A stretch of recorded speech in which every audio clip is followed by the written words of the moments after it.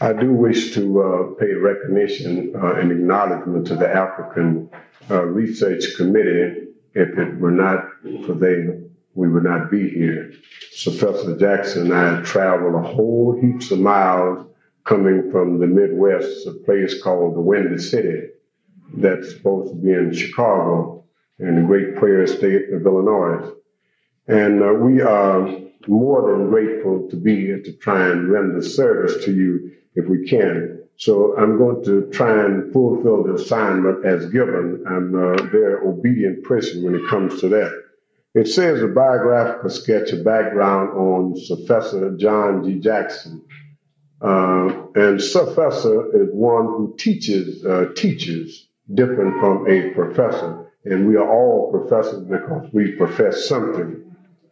Uh, John G. Jackson was born April 1, 1907 in Aiken, South Carolina. During his student days, he did researching and writing articles about Afro-American life. He wrote for Negro World in 1925 and was a regular contributor to The Truth Seeker between 1930 and 1955. In 1932, he became an associate director of the Blyden Society, then under the leadership of Dr. Willis N. Huggins. The most talented student to come out of the group was John Henrik Clarke. And if I might pause just a wee bit when we say John Henrik Clarke, we sometimes should stop with silence to give recognition and acknowledgement because Brother Clarke is one who deserves such. In 1934, Brother Jackson co-authored with Dr. Huggins a guide to study of African history. And in 1937, also with Dr. Huggins, Introduction to African Civilizations, which they are in abundance over at the table there in the rear. Professor Jackson has taught and lectured in the Black Studies Department of Newark College of Arts and Sciences, 1971 to 1973. A visiting professor at the City University of New York, 1973 to 1977, and a visiting professor at Northeastern Illinois University from 1977 to 1980. That's located in Chicago. And I heard the brother before me speak about the community and in that building we housed something of such activity back some time ago, headed by the brother, late brother Bobby Wright, uh, which many of you know about or heard of. Okay. Uh, in addition, he was a regular lecturer in the Ingersoll Forum from 1930 through 1955 and at the Harlem Unitarian Church, his two recent works, Introduction to African Civilization, 1970, and Man, God, and Civilization. Recently, he published, or, or authored that is, Christianity Before Christ, 1986. And the most recent thing, Black Reconstruction in South Carolina, Hubert Henry Harrison, The Black Socrates, and The Golden Ages of Africa. And the last publication is chapter two of a book in which the brother is now going to commence writing on in high gear with great deliberation for the next six or seven months after leaving your fair city of Oakland. And the title of the book will be on the history of the world which you might know if I may indulge upon your intelligence.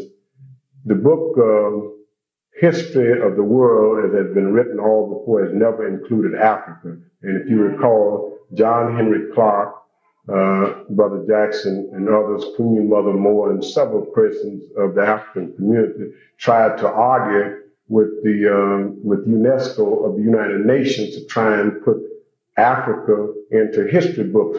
But somehow the brother's intelligence rose to the surface and to the occasion to say, why argue with someone if we know what we're doing and they know not what they're doing? We will commence to do just that. So the brother has commenced to do that, and I hope we will all give recognition and acknowledgement to such if this is be the case.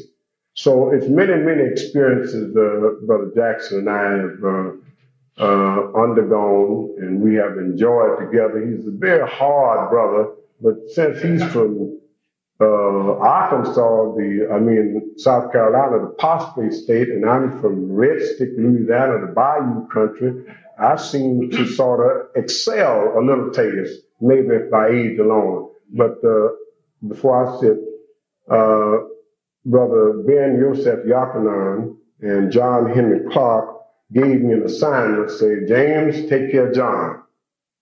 So James and John, the sons of Zebedee, the disciples, I'm one of them, and he's the other one. And I just found out something about him. He's been a, a knighted bishop. I didn't know anything about that.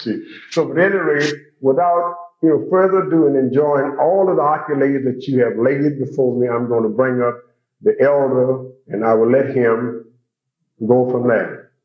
Brother John G. Jackson.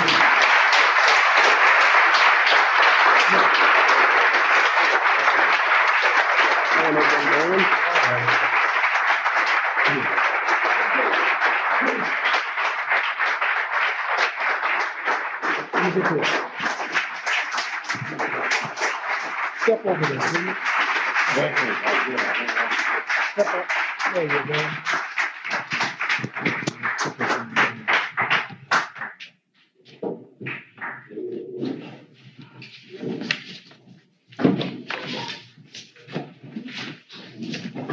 Now, since this is a church, I would address you as brothers and sisters.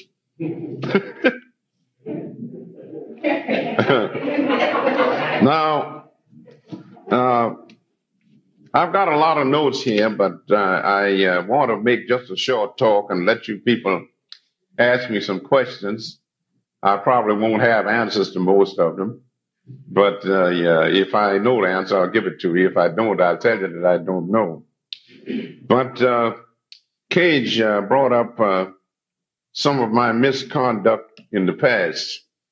in New York about 50 years ago, I was writing articles for a magazine called The Truth Seeker, and I was lecturing for an organization known as the Ingersoll Forum, named after a great American uh, statesman, Colonel Robert G. G. Ingersoll.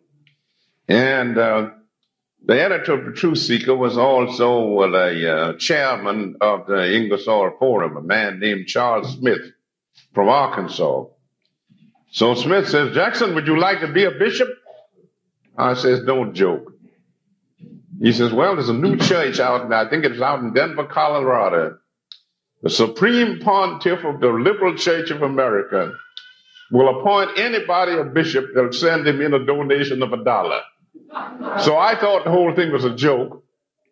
So I handed Charlie Smith a dollar. I says, okay, send in my application. And lo and behold, I got a, a, document stating that I had been appointed a bishop of the Liberal Church of America and that I could get uh,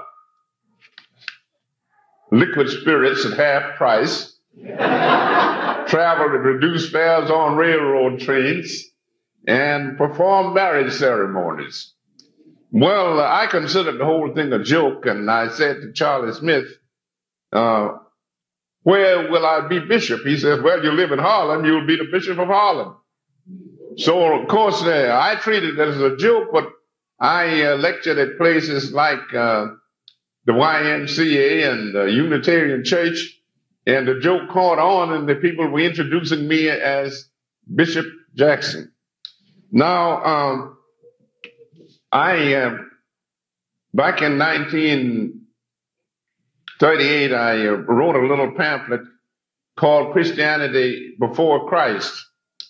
And uh, last year, I had rewritten this stuff and got it into a book, and now it's a book on Christianity before Christ. The right title for that book should have been The African Origin of Christianity. But uh, I realized that uh, if I gave it that title, uh, you prob- very few people would buy the book. Because I, well, a sad feature about black people today is that most of them are almost totally illiterate. They can't read anything anymore. Uh, television have robbed them of what little uh, literacy they had. So uh, if I just called it Christianity before Christ, in hopes that a few white intellectuals would read it, would read it. And it worked out all right. Uh, the book came out uh, late in 1985. Uh, it's been out just a little over a year now. And uh, I think the publisher sold over a thousand copies. So that's not bad for a serious book. Uh, uh, when I was teaching at the City University of New York, uh, I was using two of my books as textbooks. Uh, Introduction to African Civilizations and Man, and Civilization. So one of my students came and said, Professor Jackson, is there any money in writing? I said, why do you ask that question? He said, well, I figured if there was any money in writing, I would become a writer. I said, well, wait, wait a minute, young man. I says, you, uh, uh, you were talking through it. I said, if you had a hat on, I'd say you were talking through it. I said, if you have musical ability, you become a musician. If you have uh, scholarly ability, you become a professor. If you have medical ability, you become a doctor. If you have legal uh, uh, ability, you become a lawyer. I says, now if you can write, you can become a writer. I said, but, but uh, knowing you only slightly, I have an idea that you couldn't write anything that anybody would want to read. so one of the students got up and said, why do you take that attitude? I said, well, I've been teaching at this institution for quite a while now. And I asked all my students to turn in a term paper. And I says, it's only 10 pages long and they can't write 10 pages. They go clip pictures out of newspapers and put a picture on every other page. So I get about five pages of, uh, of text. I says, now you can't, fellas can't write 10 pages on a term paper. How are you going to write books? Uh, I will never mil- uh, win a popularity contest because uh, I'm honest with my students and they don't appreciate that. I had a class at the City University of New York where, although it was in the college, I found out that most of my students were reading on the fourth grade reading level, a fourth grade reading level in college. And I frankly told them that most of them seemed to have the brain capacity of a mentally retarded mule. So one young lady got up and told me that she demanded an apology. And I said, young lady, I will not apologize for telling the truth. Now, uh, one of the reasons why you will listen to, to me tonight is because I'm not a member of the club.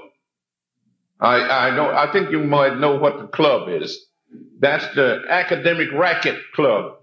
Uh, and the way you work it is that uh, you start out and you go through law school they call that elementary school. That's low school. Then that takes up eight years. Then you go four years of high school and then four years as an undergraduate student in college. And if you're studying for a profession, you do four more years of uh, uh, graduate work in a university. Now, that's not what happened to me. Uh, I was uh, not, uh, I was not good in school. Uh, I was a student in a little school down in Aiken, South Carolina called the Schofield School, established in 1868 by Martha Schofield, uh, old maid school mom from Quaker from Pennsylvania. And uh, I went to the Schofield School and it was a good school. I mean, uh, it was the best school in the state in Aiken, South Carolina, that colored people could go to. I don't know how good the white school was, but uh, yeah, they gave them more money, so it might have been a little better. But I went to the Schofield School for several years, And uh, I was a student there from during the First World War. I remember that I was a student in the Schofield School back during the years of 1915, 1916, 1917.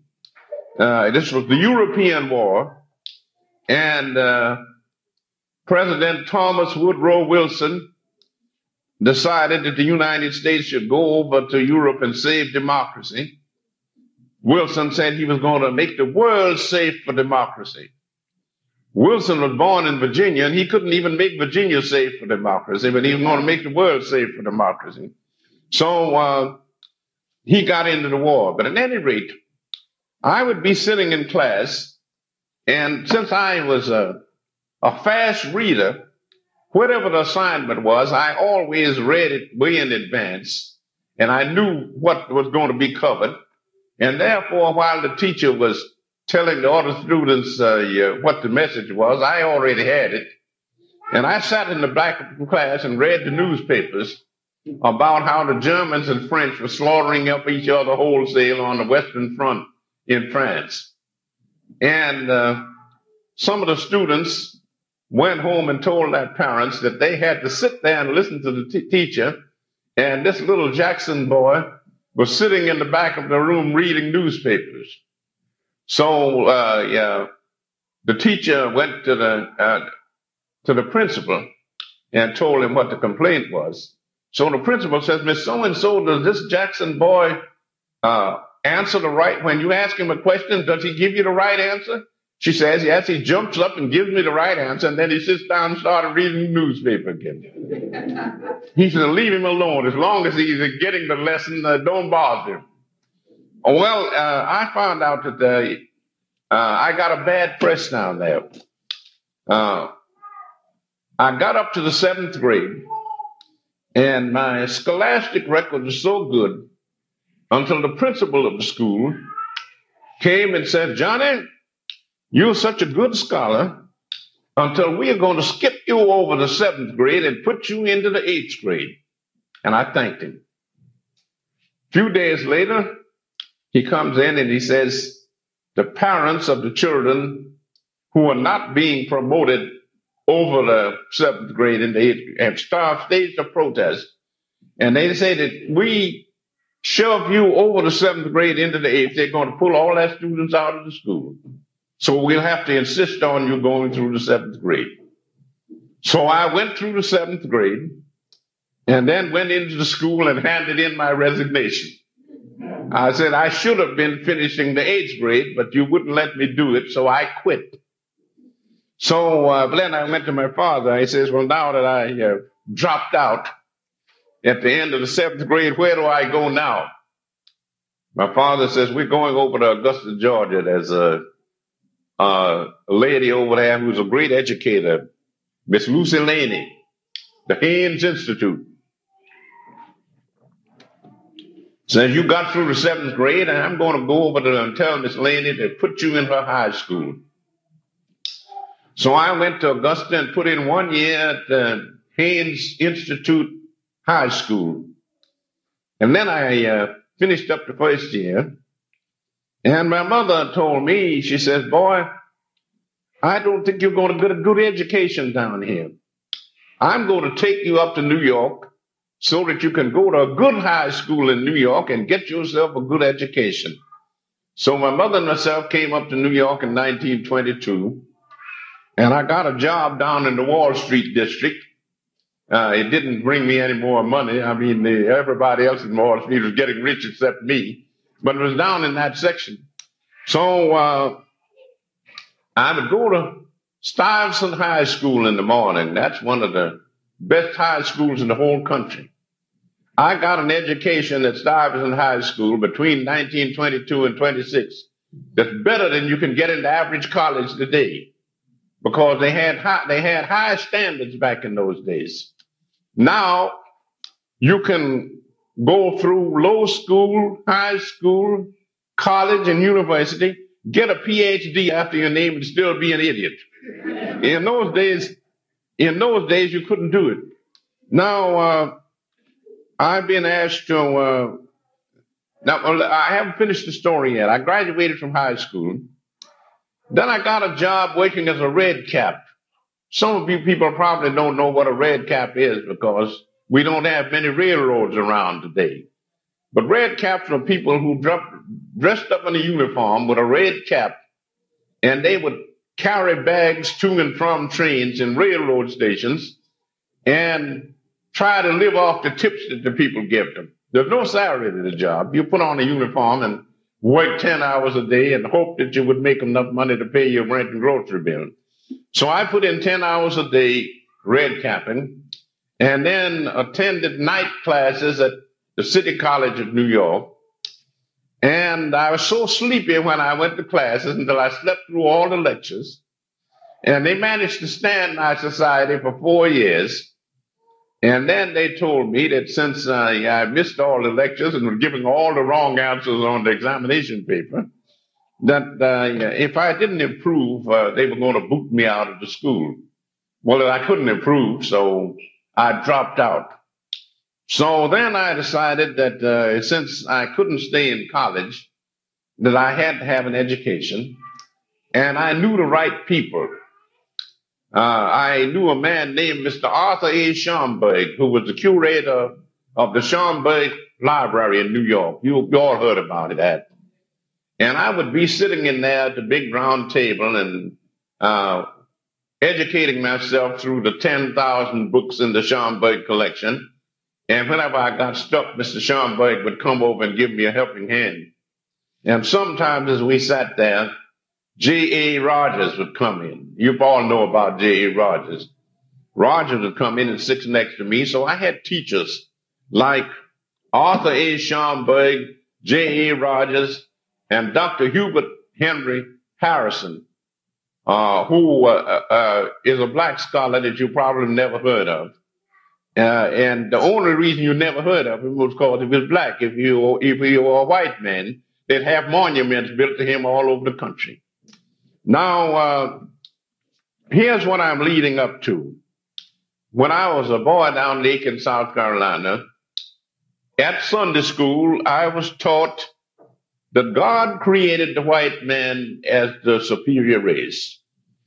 And he uh, uh, after the flood, when Noah was celebrating the, uh, the end of this great deluge, he got drunk and took off all of his clothes and doing the striptease.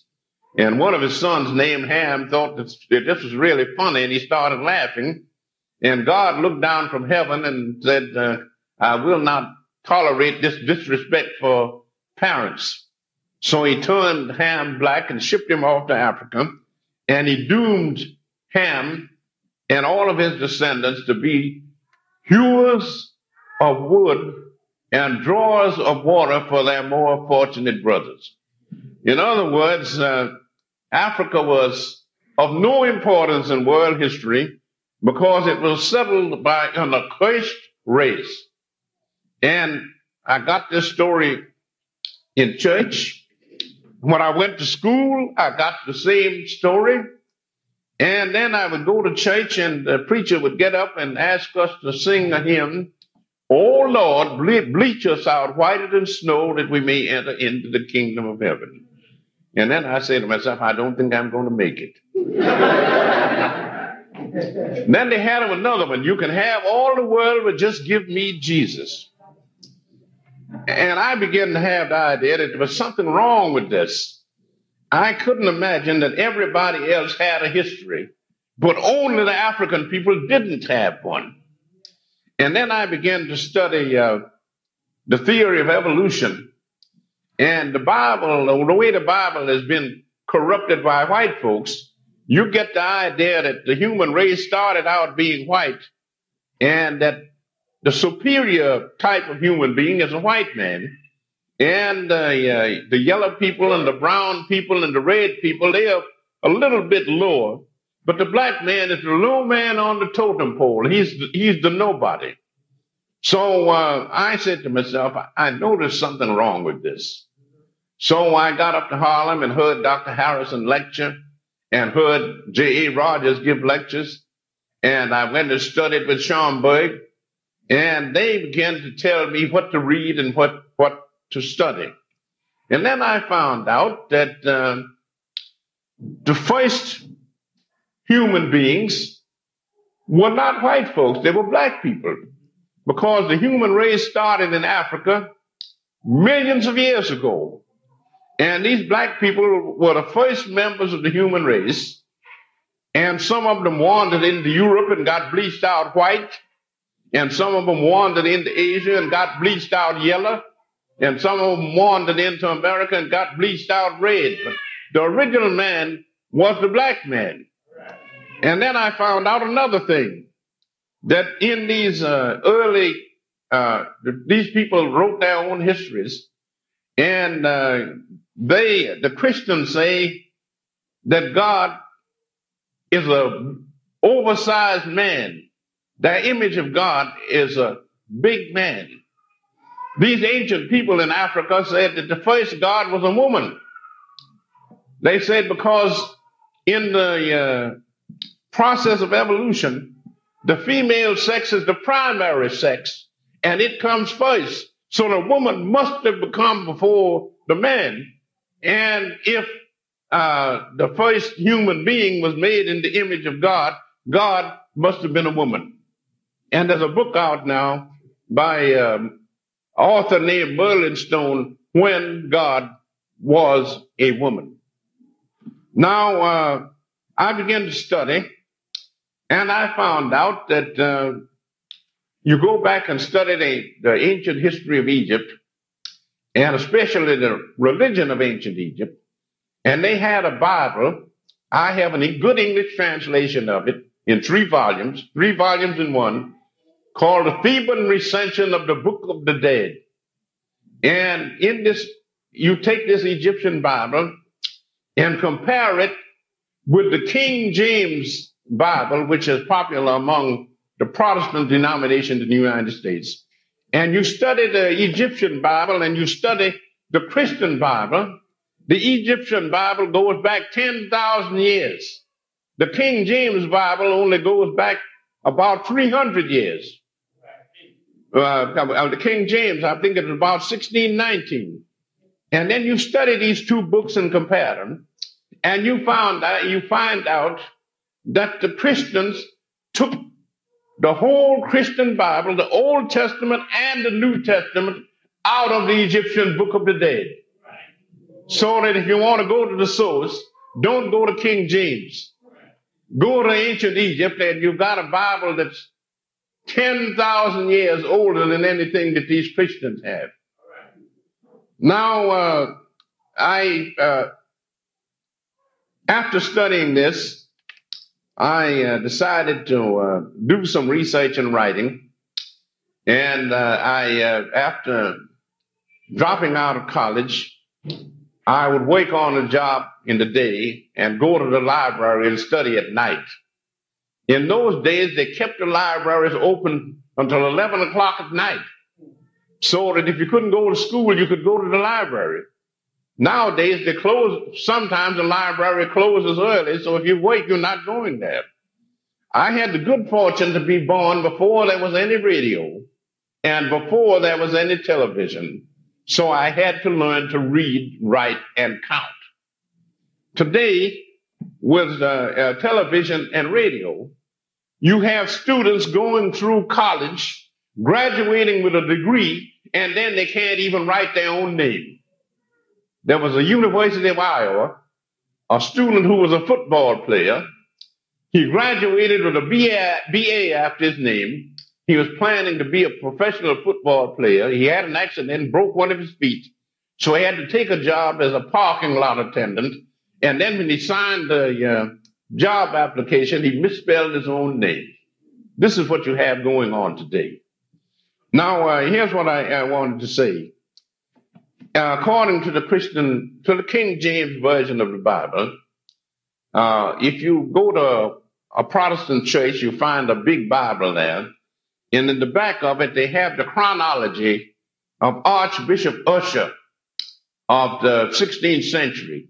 An English, uh, I mean, an Irish archbishop of the 16th century, and he he tells you how old the world is according to the King James version of the Bible, and he tells you that God created the earth in the year 4004 BC.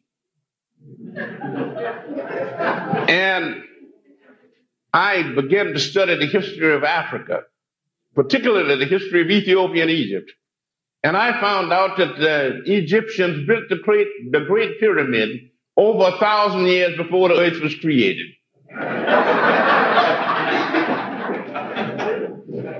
and then I ran across another biblical scholar, uh, the vice uh, chancellor of uh, the, the, Reverend Professor Lightfoot, vice chancellor of Cambridge University, and he improved on Ussher. He says God created the world in the year 4004 BC on September the 22nd. It was either September or October. I don't remember it. At nine o'clock in the morning. Now I'm wondering what day of the week was it? And if the world was created on this particular day, on this particular year, at nine o'clock in the morning, what happened at eight o'clock? I mean, you, you, you have all these unanswerable questions. So then I began to do research, and we were told that uh, this godlike white man, the first civilization in the world was that of the Greeks. They was uh, uh, supposed to be the most intellectual white people that ever lived, and that uh, they created a great civilization and then passed it on to the Romans, and all the great civilizations were created by white folks. Uh, a short back in 1934, an English historian named Arnold J. Toynbee wrote uh, a study in history, a history of the world in 12 volumes. Don't try, if you find the book in the library, don't try to read it. Because one of the hardest books to read is Karl Marx's Capital.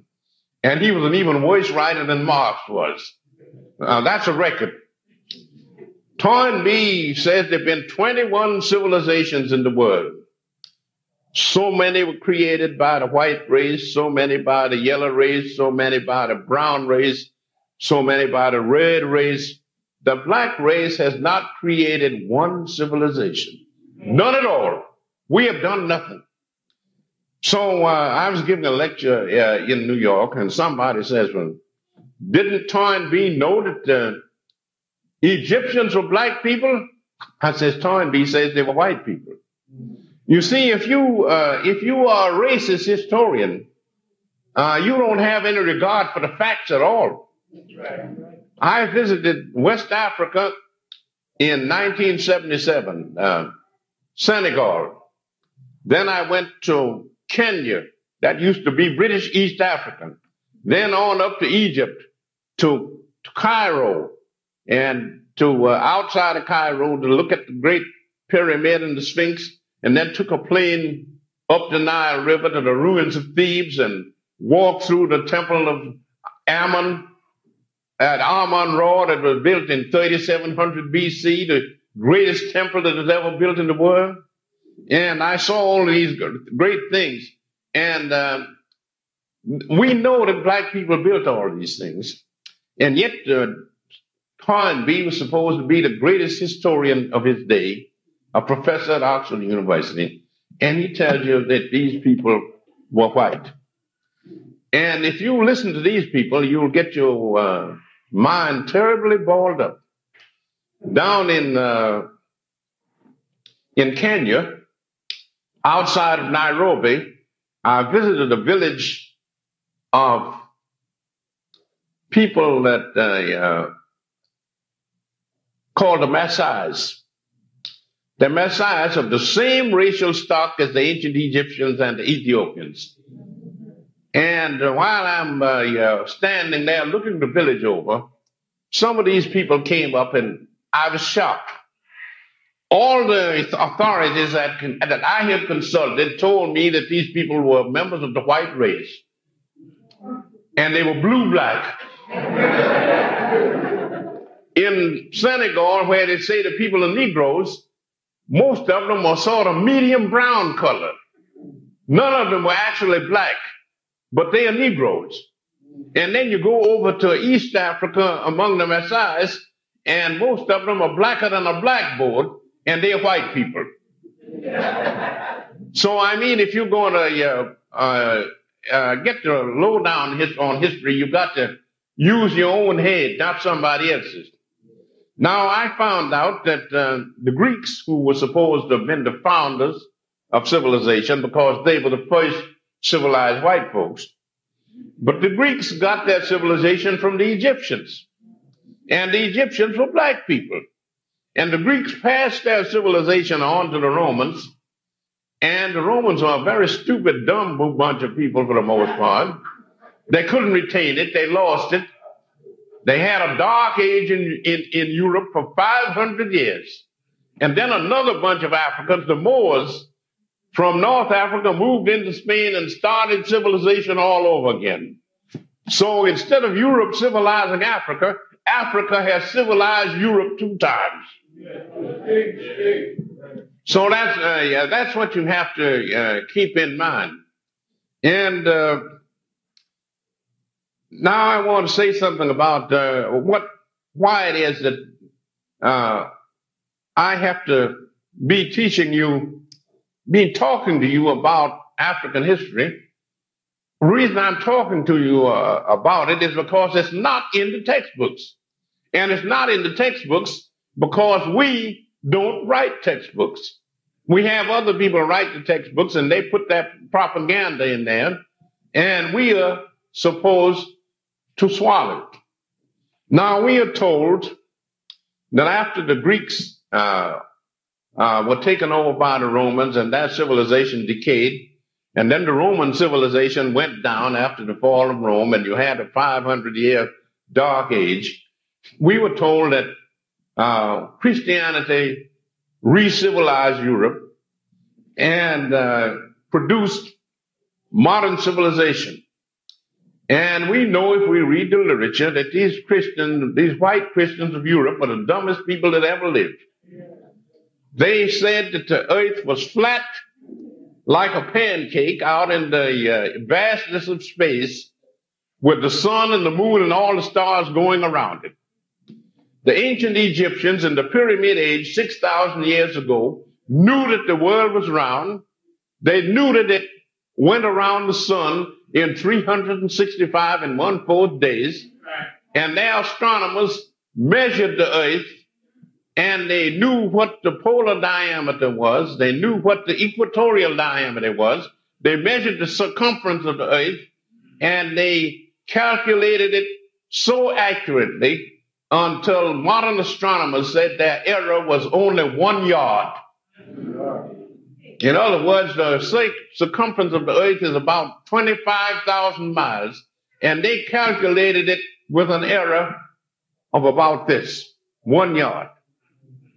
So, uh, uh, if you read history the way it happened and not the way other people wrote about it, you will find out that the black race created the civilization, created the white, uh, civilized the white folks two times. Uh, so that uh, you want to get some perspective on this. And uh, the white folks took the religion of ancient Egypt, of Ethiopian Egypt, and uh, boiled it up completely. Right. They'll tell you that uh, uh, if you get some of this cheap literature like the Jehovah's Witnesses people turn out. I remember seeing one of their quarterlies. God is sitting up on a golden throne in heaven. Blue eyes, blonde hair. Next to him is Jesus Christ, also with blue eyes and blonde hair. On the other side is the Holy Ghost, also white, and a bunch of angels in the background white. And a bunch of people kneeling on the ground worshiping this God, black and white. Underneath his hell, with the devil black and all the imps black. So it looks as though uh, since white people are not admitted into the Christian heaven, then we all going to wind up in hell. But I told my students they had nothing to worry about because the only unpleasant thing about hell was the heat. It's too hot down there. But since uh, if you go there, you're going to stay a long time. And if you stay long enough, you get used to the heat. So that then it won't bother you. And then I found out that uh, the African, the Africans were dragged into the slave trade because the white folks were too lazy to work and produce the things that they wanted. And they brought, dragged us into slavery, converted us to their particular brand of Christianity. And the African had a much better religion over in Africa. That's what I call Christianity before Christ. He had a much better religion. The Christians tell you that there's a, a God sitting up on a throne in some place called heaven who created the whole universe and uh, he created the human race and they turned out to be such a uh, worthless bunch of people and they had to have a flood drown out most of them to give the race a new start. And then this new bunch of people went to pot and finally had to send his only son down to be crucified to save these people. And uh, that's what they call the Christian scheme of salvation. Now the Africans uh, had a religion which was much better. Uh, in ancient Egypt, uh, if you will see a copy of my new book called Christianity Before Christ, and there's a long section in there on the mysteries of Egypt. Those are the religious rites of the ancient Egyptians. And you will find out that uh, these uh, people, uh, in other words, there are two types of religion in the world.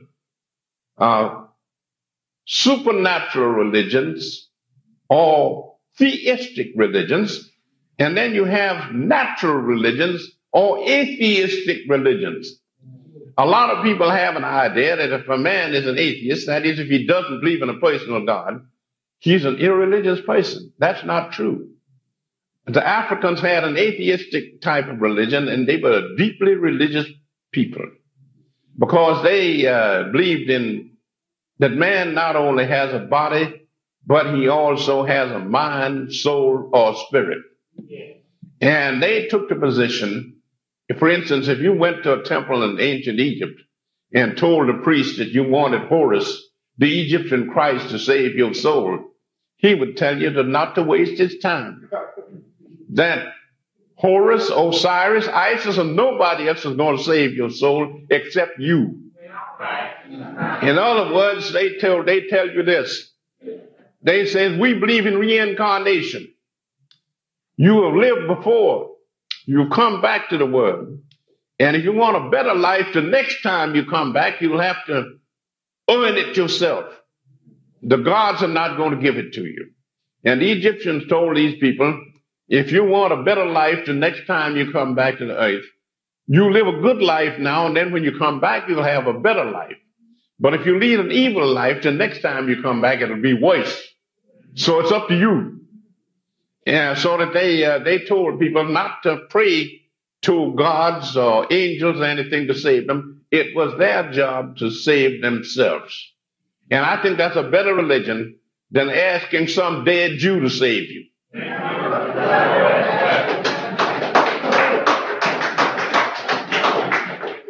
Now, uh, these uh, people, they believed in spiritualism and they believed in theosophy.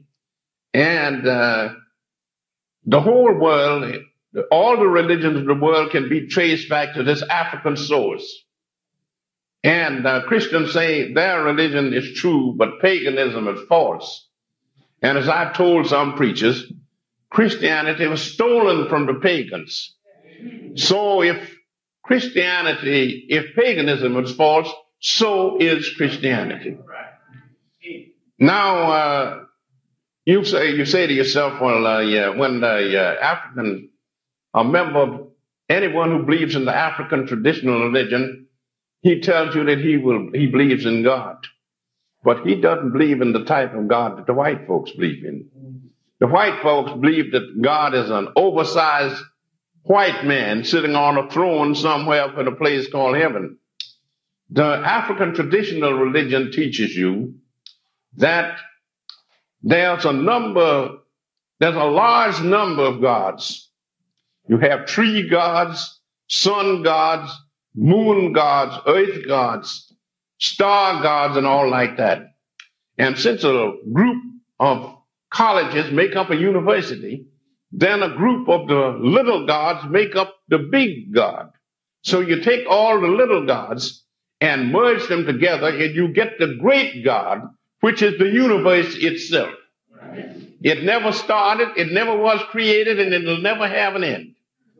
And uh, so, therefore, they said that the uh, the great God is nature itself, the universe, and they believed in a doctrine of the Trinity. God is the physical universe. Christ is the mental universe. And matter and mind, and mind interact and produce life. So you get a trinity of matter, life, and mind. And that's it. And uh, you, uh, to show you how, uh, how we have been badly miseducated and, and misled. One of my friends is a great black scholar, Professor Yosef Ben Jochannan of Cornell University. You probably, some of you probably met Dr. Ben. Ben went into the Metropolitan Museum in New York, where they have a very fine Egyptian collection. And the young lady sitting at the desk. Sir, what can I do for you? Dr. Ben says, I would like to visit the African collection. The young lady says, Sir, we do not have an African collection. And Dr. Ben says, I meant to say the Egyptian collection. oh, yes, we have an Egyptian collection. but you know, the ancient Egyptians were not white people. Now, the ancient Egyptians, were, you know, yes, we have an Egyptian uh, collection, but the ancient Egyptians were not Africans. So Ben pulls a map back out of his pocket, shoves it right in this girl's face. Young lady, here's a map of Africa, and there's Egypt. Wouldn't you say that Egypt was in Africa? She said, I could say so. Ben says, Do you say so? She said, No. Ben says, Young lady, you are a jackass. the young lady became hysterical. She hollered for the manager. The manager came out and running and says, What's the trouble? Mr. Manager, this man just called me a jackass. So the manager says, What's the problem? Ben told her the story that he was looking for the Egyptian collection, and this young lady said the Egyptians were not Africans. And he says, I have a map here, and here's Egypt, and Egypt is a part of Africa. Wouldn't you say so? The man says, Well, you could say so. Do you? No. Ben says, You also a jackass. so he said, then he ducked out and uh, got out of the vicinity because he was afraid they're going to call the police and uh, put him in the jug for uh, disorderly conduct. So, uh, this is the, the way we have been miseducated. Now, since Egypt was a great African culture, uh, we find out that uh, a few years ago, there were no black Egyptologists. Uh, we did have one recently, but he died at an untimely age, and that was Dr. Diop in Senegal. I visited him over in Africa and talked with him back in 1977. And Diop, besides being an Egyptologist, he was a lot of other things besides. So we had, and then we have a young lady who was an authority on uh, Egyptology. She's now doing, uh, working for the Oriental Institute of the University of Chicago and doing uh, research in New York as uh, Mrs. Deidre Wimby.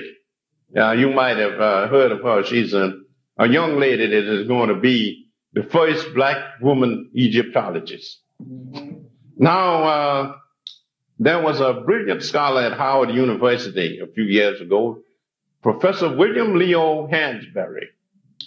He graduated from Howard he went to Harvard University and was planning to work for a PhD in Egyptology under Professor George Reisner. He was one of the outstanding Egyptologists in this country. And uh, Reisner got up before the class and says, Of course, you know that the ancient Egyptians were white people. And after he got through, Hansberry put up his hand. Well, Mr. Hansberry, what's your question? He says, I uh, want to challenge that statement you made about ancient Egyptians being white people. He says, I've read his, Herodotus' history of Egypt, and he says the ancient Egyptians had black complexions and curly hair. He says, well, Mr. Hansberry, I don't accept Herodotus as an authority. So Hansberry tackled him. He says, listen, professor, Herodotus visited Egypt in the fifth century BC and he saw these people. You didn't visit them and you didn't see them. so Hansberry had him kicked out of his class. So here he was trying to get a PhD in Egyptology and the professor of Egyptology booted him out of the class. So he went to see the head of the Department of Anthropology, Professor Ernest Albert Hooton. And he says, Professor Hooton, what shall I do now? He says, well, Mr. Hansberry, he said, uh, if Reisner won't give you a PhD, you're not going to get it in this country. He says, I think you should go over to England and try to sign up in either Oxford or Cambridge and he gave him some references. And he went over there and he told him that he wanted to get a PhD in Egyptology. And the people in England were more honest. At both Cambridge and Oxford, they told him that they did not want any black Egyptologists, so they weren't going to give him a degree. so uh, uh, Hansberry had to come back to the United States and get a job as a professor of history at Howard University. And then when he retired, he went to Nigeria and uh, was given a position as the director of the Hansberry Institute of African Studies, or some such title as that.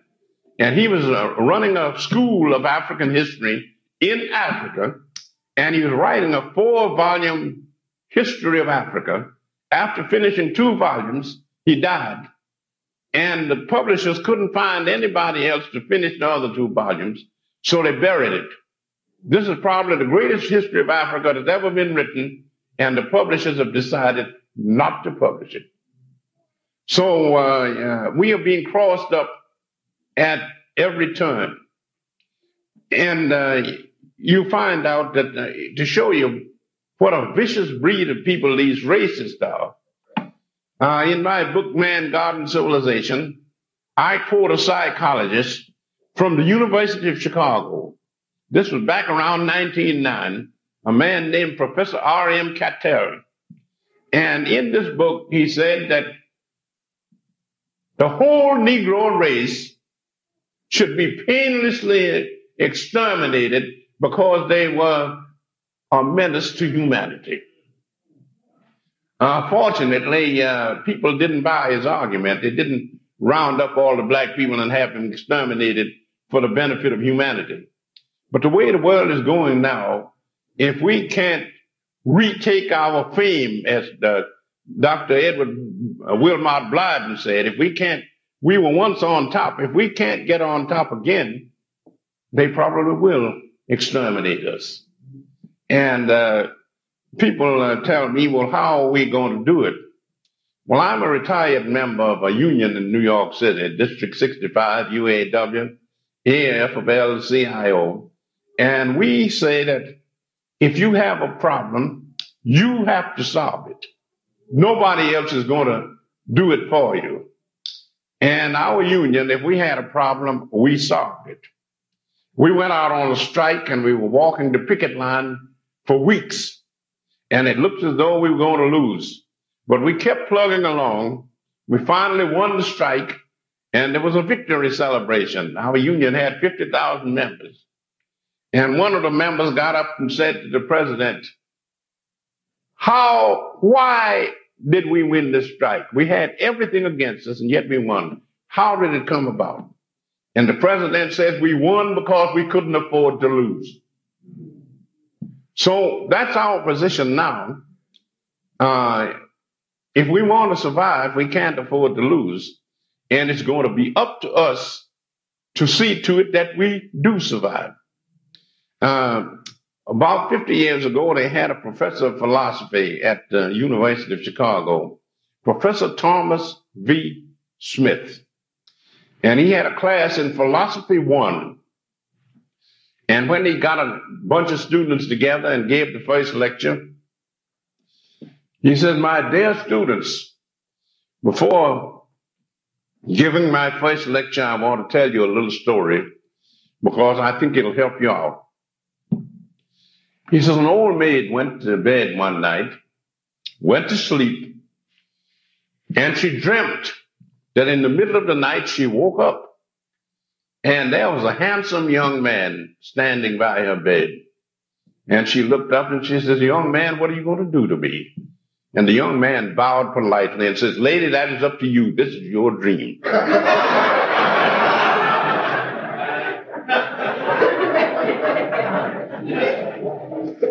and the, the message I tried to pass on to my students is that no matter how hopeless the situation is, we're going to continue to struggle.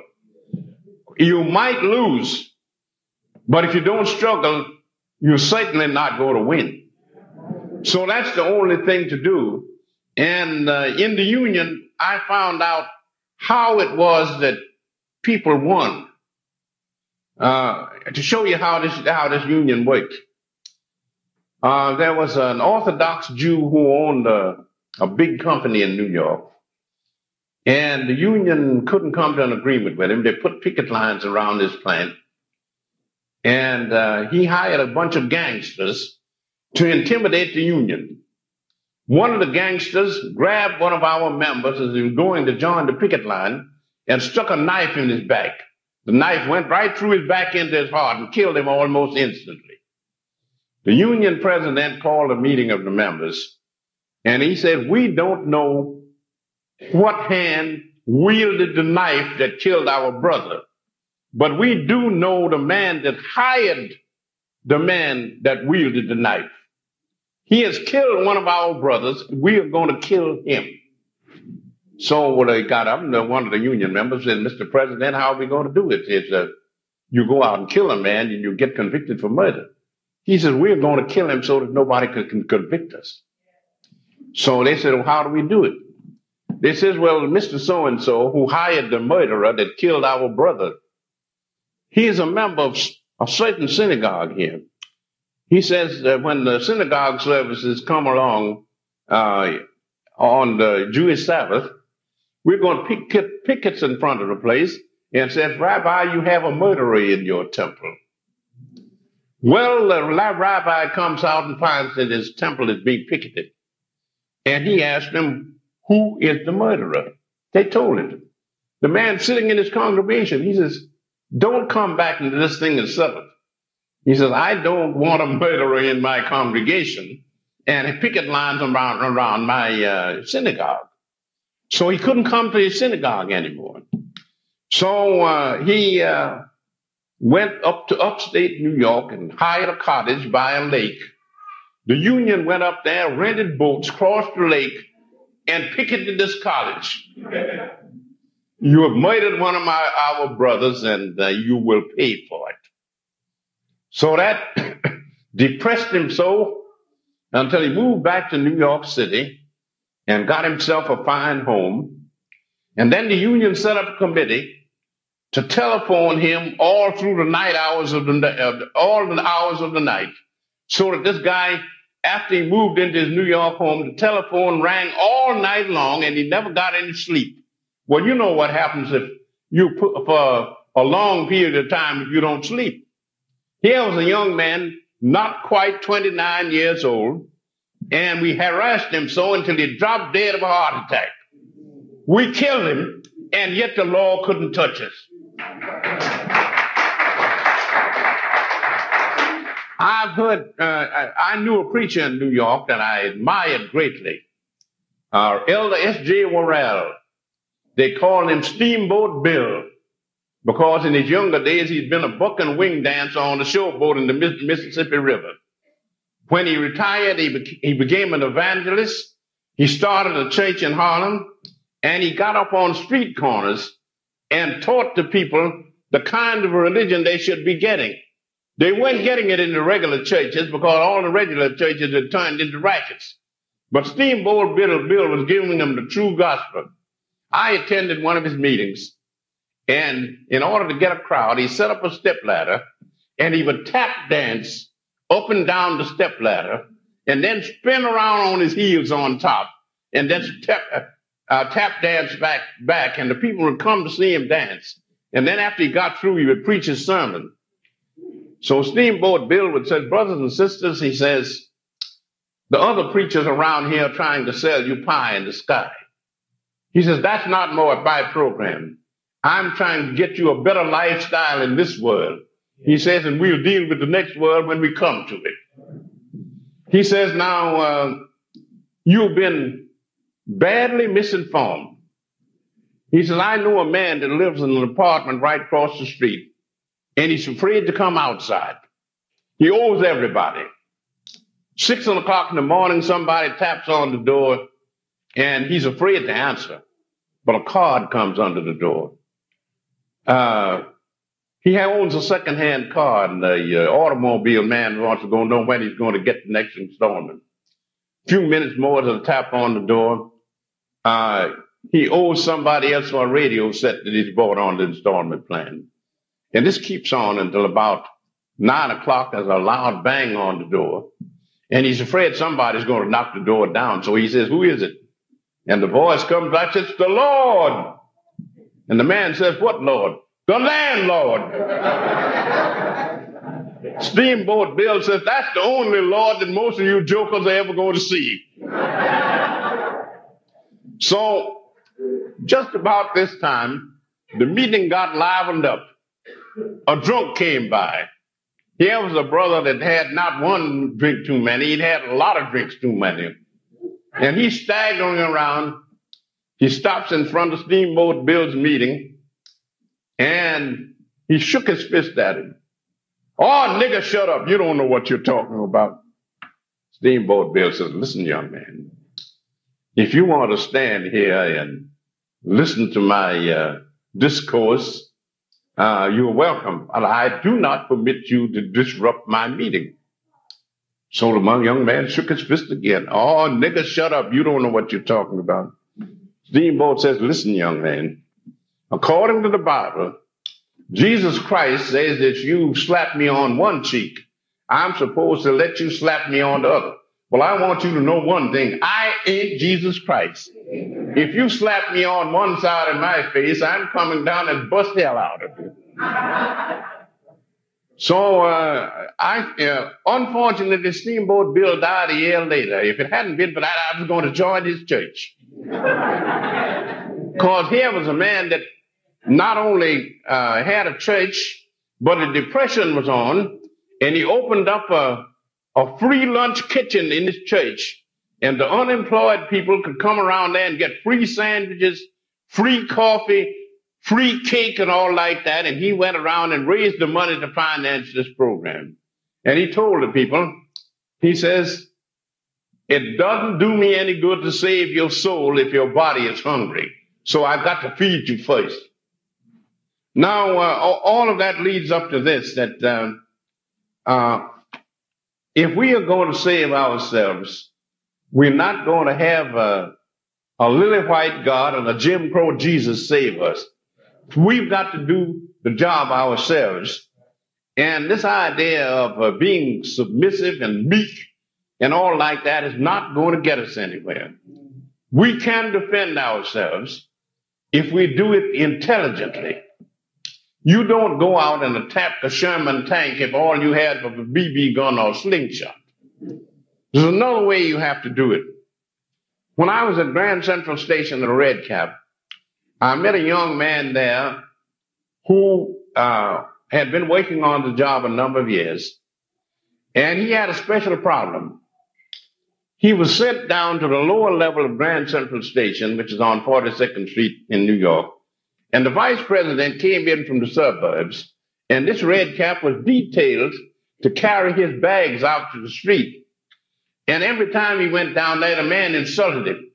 You know, stuff like, boy, pick up my bag. Nigga, get, get a, uh, a move on or something like that. And the young man knew if he gave him an argument, being the vice president of the railroad, he'd lose his job. He couldn't afford to lose his job. But he was determined that he was going to punish this man. So one day he went down to get the suitcase of the vice president, and he was the only person on the train.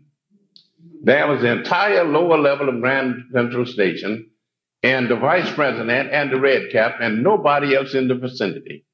So this young man hauled off and hit this man in the jaw and broke his jaw.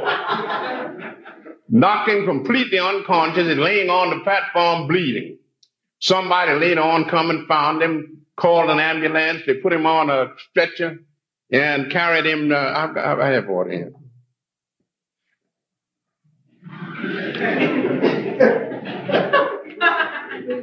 and, and, and, they put him on the stretcher, took him to the hospital. Then when he got his jaw back together, he came back and swore out a warrant to uh, that this red cap committed assault and battery on him, broke his jaw, nearly killed him, and all the rest of it. So the red cap was hailed up before a judge. The vice president told him how this man beat hell out of him. And then the judge said to the red cap, Did you commit assault and battery on this man? He said, No, I didn't. It must be a case of mistaken identity. I wasn't there. And then he said to the vice president, Do you have any witnesses that saw this man beat you? He said, No. He says, Case dismissed.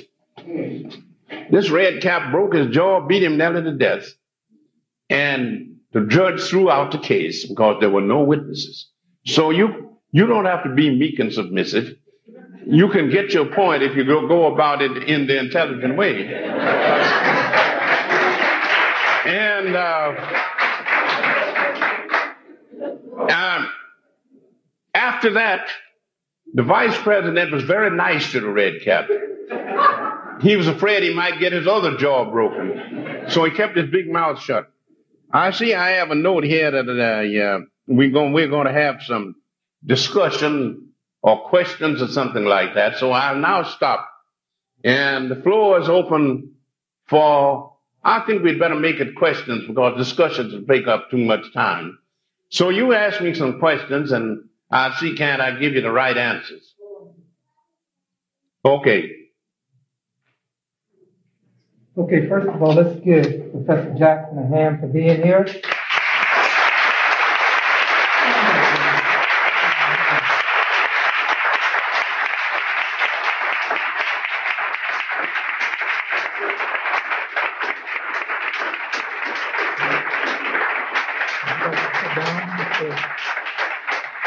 No, I stand. It's all right. Okay, those of you who have questions, I'd like you to come up if you're in the front to come to the forward mic or if you're in the back. Okay, uh, brother in the back first.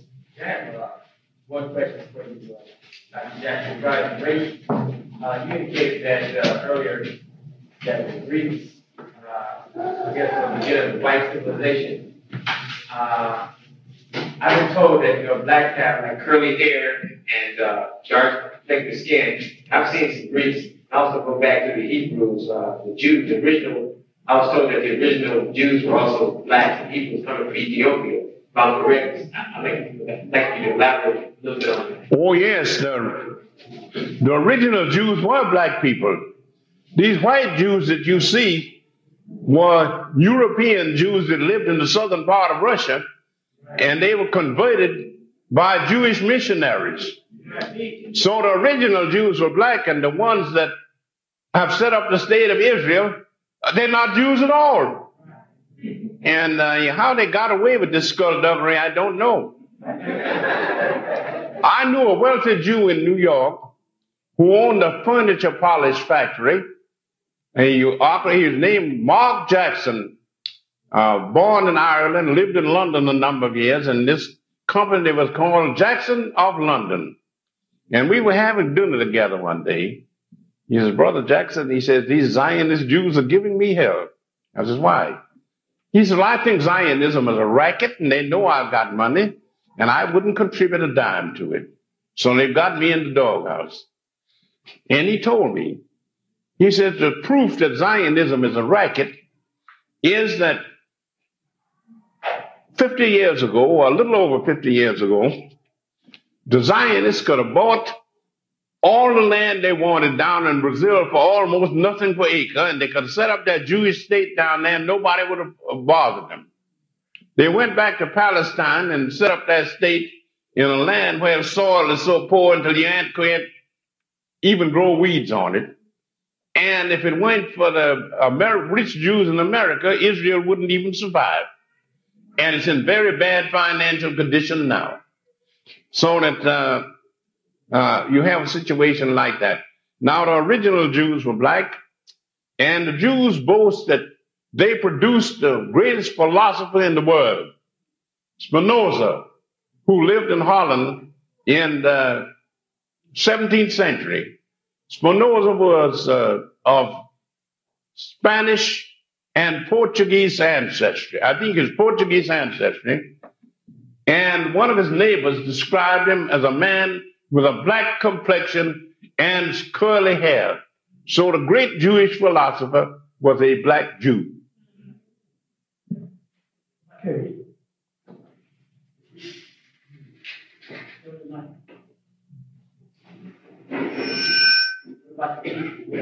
What? The early Greeks, the ancient. Oh, they, they had a strong mixture of African blood. Everybody did because since the human race came from Africa, uh, according to law in this country, if you have just a small amount of African blood, that makes you a Negro. Well, if you take that literally, then this, even Reagan is a Negro because if you trace his ancestry back far enough, you go to Africa. So he had, even Reagan has African blood. I'd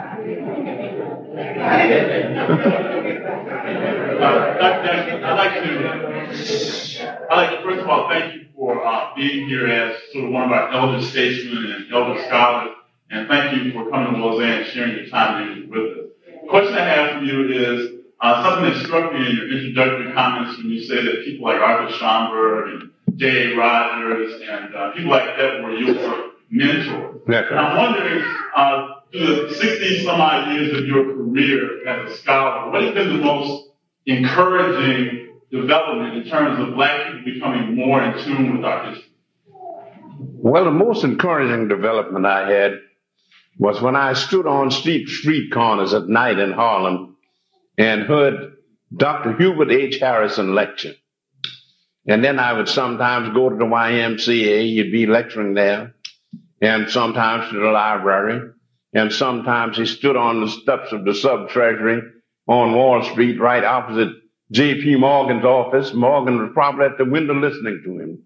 And Harrison gave a lecture down there on Wall Street one day, and the police had to rope off the street because he was lecturing to an audience of 11,000 people. Now, here was an unusual black man who fought for the freedom of everybody. He uh, left the Socialist Party because the white socialists were racist. He joined the Garvey movement because he said that the socialists said class first and they practiced race first. And Garvey advocated race first, and that's what he believed in. So he uh, he said, uh, "I don't believe in class first. I believe in race first. So he joined the Garvey movement. And uh, Harrison was a man. He didn't get into history because he didn't allow white people to flatter him. You have a lot of our people, if a big white man gets them to say some nice words about him, they're tickled to death. so Harrison went to a white YMCA in Brooklyn, New York, and the secretary got up and said, Dr. Harrison is a great scholar. He has a black face, but his heart is white.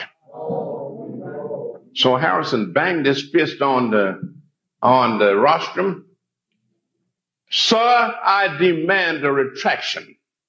I'll have you understand that my heart is just as black as my face.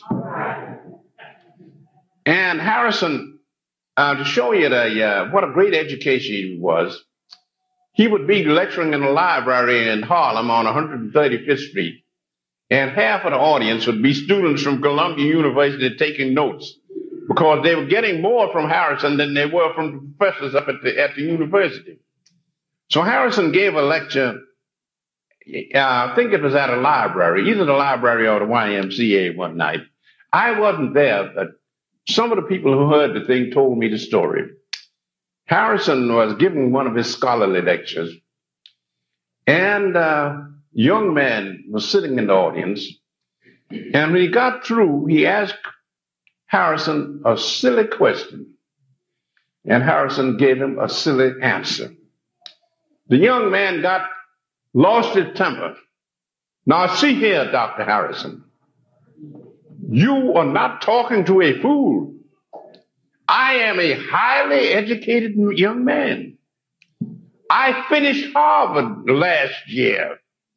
Harrison says, I beg to differ, young man. You did not finish Harvard because Harvard is still there. he says, uh, yeah, you didn't say what you meant to say.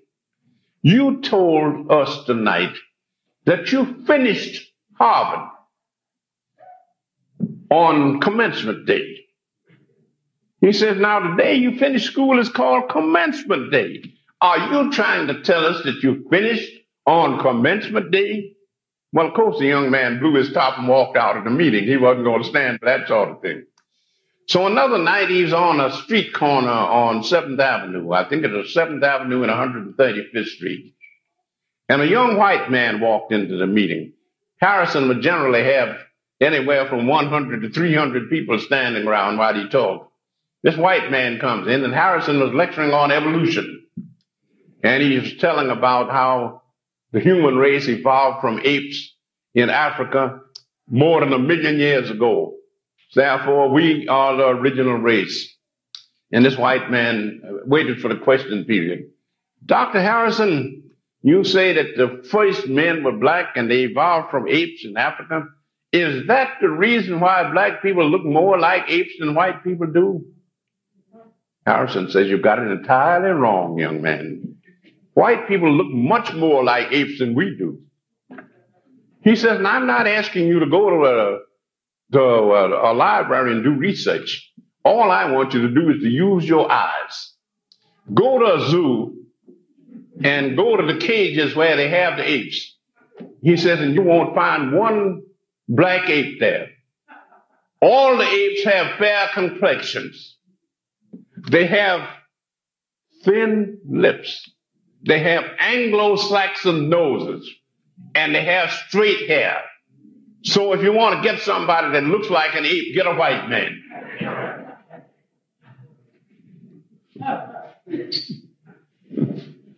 I have another question. If, if I may. Well, 'cause apparently, when you speak, the earth moves. the,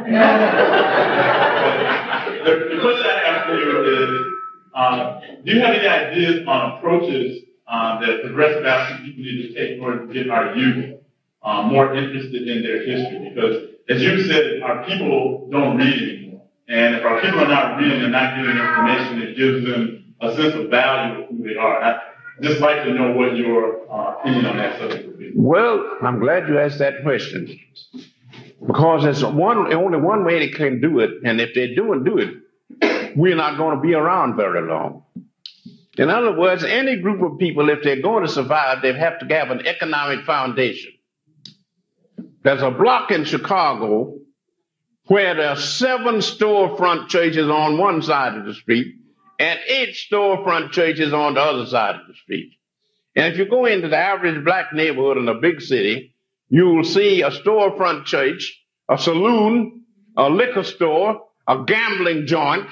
No business enterprise is bringing any money into the community. Now, the only way we're going to beat this is to get the young people to organize into cooperative societies.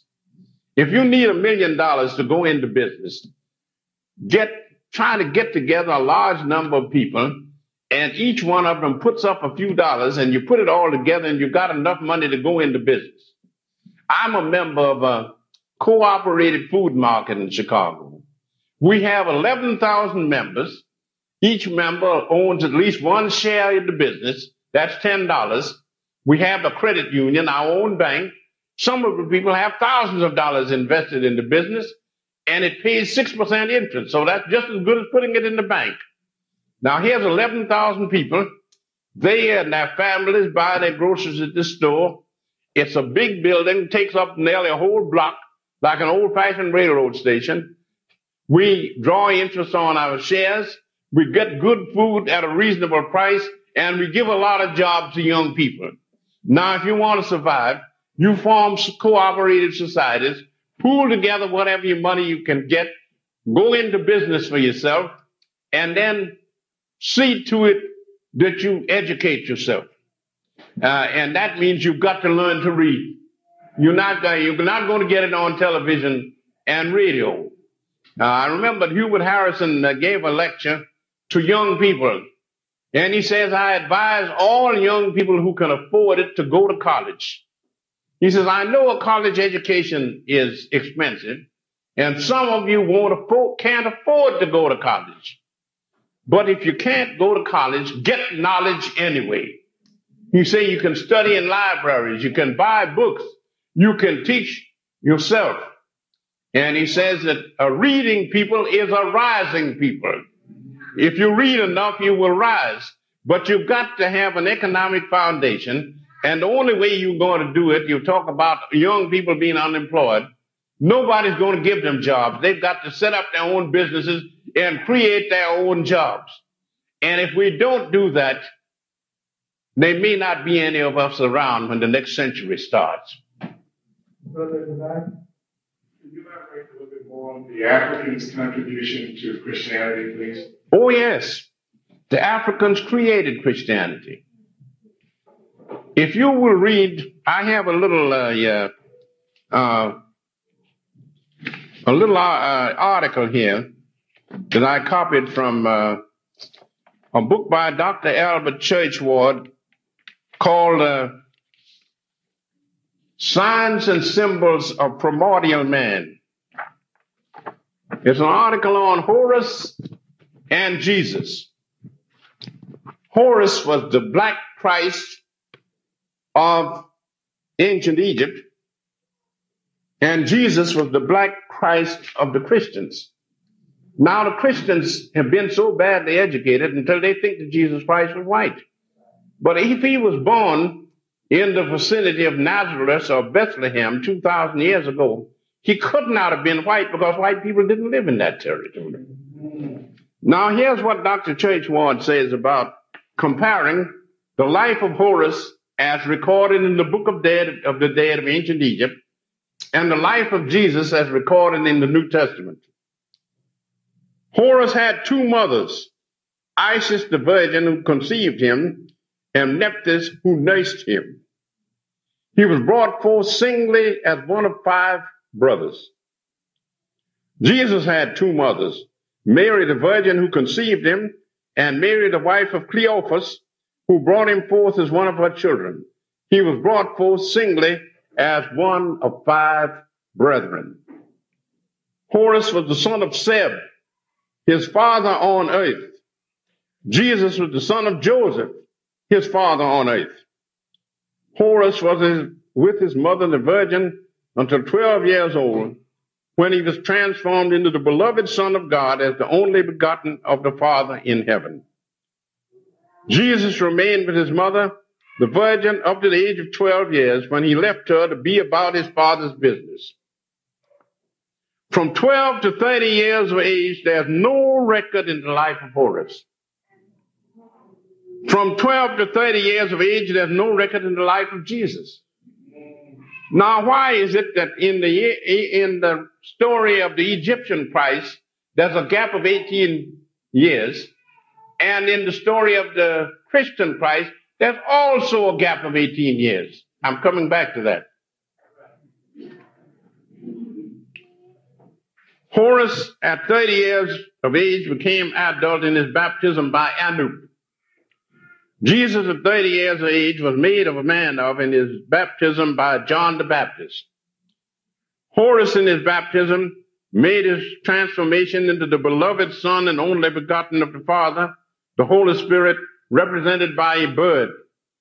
Jesus, in his baptism, is hailed from heaven as the beloved Son and only begotten of the Father God, the Holy Spirit, that is represented by a dove.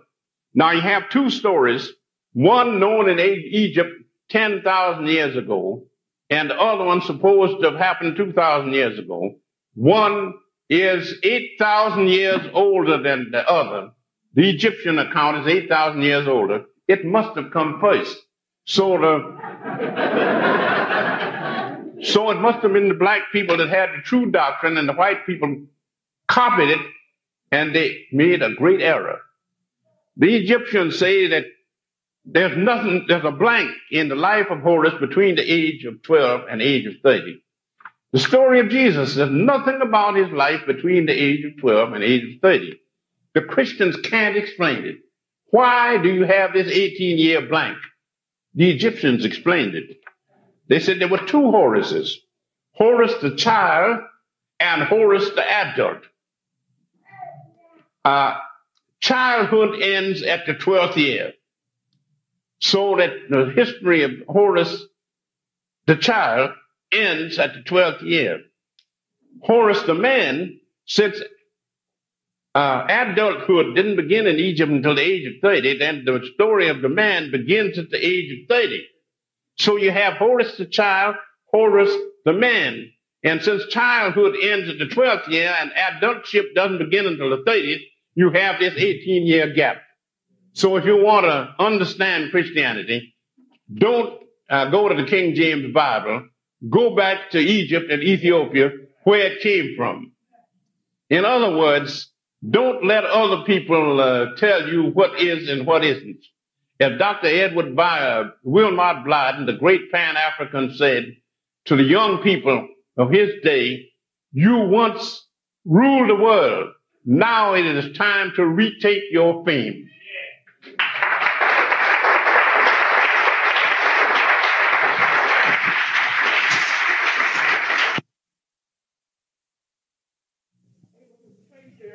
Uh, history back thousands of years. But the, the one ethnic group that doesn't seem to be able to do this is the Igbo. They seem to be sort of put in this one small area of Nigeria. They can't find a, a, a, a area that's close by that has a, similar uh, language to them. So they're wondering, you know, where they actually came from. And uh, uh, can you elaborate on that particular? Well, I don't think I can give you an answer there. The only thing I can say is that these Igbos, these Igbos must have come in later on, and they were not a part of the original people that uh, occupied this territory, because there was a famous German anthropologist named uh, Frobenius. He wrote a two-volume work on Africa called the, uh, the Voice of Africa, published in 1912. And he said there was a brilliant civilization in West Africa thousands of years ago on the west coast of Africa. The, the civilization of Atlantis, not an island. It was an African civilization, and they called it Atlantis because it was on the shores of the Atlantic Ocean. And these uh, people not only had a great civilization of their own, but they sent colonists to the New World, and these Africans brought civilization from Africa over to the Americas. Uh, if you want, you get want to get a good summary of that, Dr. Ivan Van Sertima has a book called "They Came Before Columbus." You can you can get the story there. Uh, but uh, uh in, if we uh, study history as it is, we will find out that we have a great history but we have allowed our enemies to take our history away from us. And we have to teach the young people that we have a history and we are going to reclaim it. But we not only need history, if we were to survive in the modern world, you've got to get wealth and power. And I suggest that since we want to survive, then we had better get wealth and power.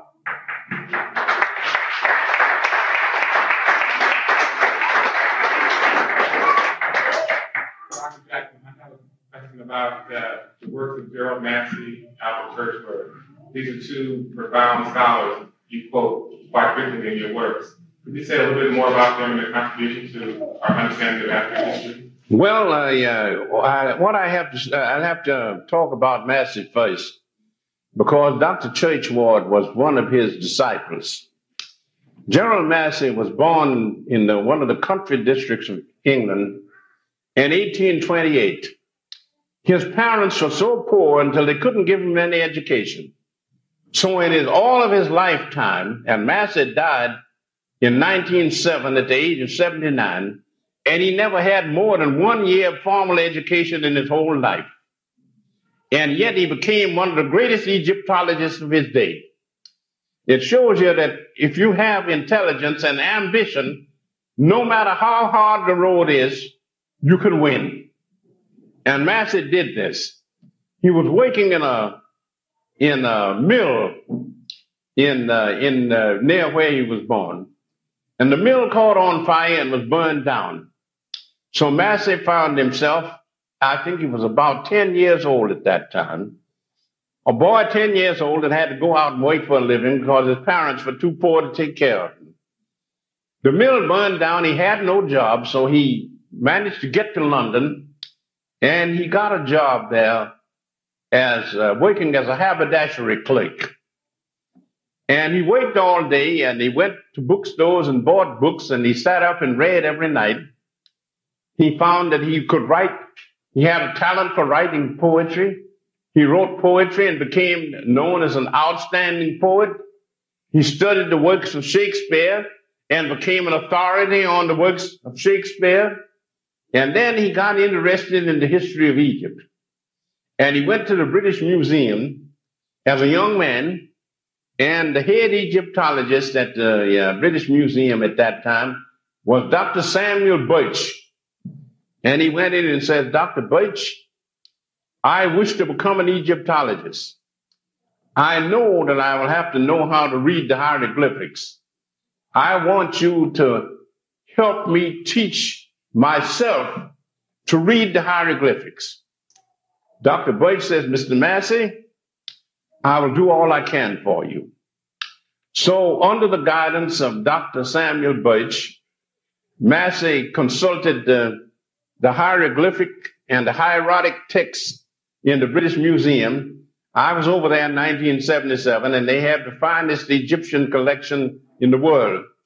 And Massey was, uh, went behind the scenes and saw these original manuscripts that had been uh, published in Egypt thousands of years ago. And he sat down and learned how to translate this dead language into English. And then he said that the main thing for me to do is to explain the mythology and the, and the religion of ancient Egypt. So he wrote six volumes. In 1881, he wrote a two volume work called A Book of the Beginnings. And he said the purpose of this book is to show that all history and all knowledge comes from Africa. Then he followed it up with another two volumes in 1883 called The Natural Genesis. And then in the year of his death, 1907, he got out a new, he got out a last two volume edition, his greatest work called Ancient Egypt, the Light of the World. And Massey in these books shows that the human race originated in Africa, civilization originated in Africa, religion originated in Africa, science came from Africa, mathematics came from Africa, and that is our African heritage.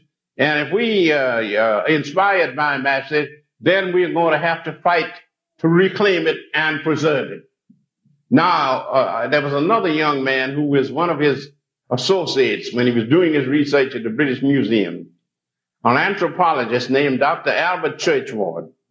Churchward was a 32nd degree, or no, a 30, 30th degree Mason and a famous surgeon and a famous physician. He was a member of the Royal Council of Physicians and the Royal Council of Surgeons. And that means if you get on that uh, uh, council, you have to be a top man.